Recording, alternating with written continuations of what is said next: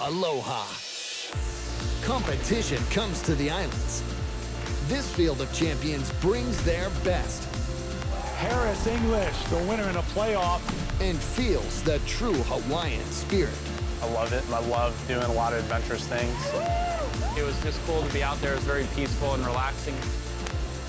Don't miss the first event of the new year. The Sentry Tournament of Champions from Maui. Watch live in primetime.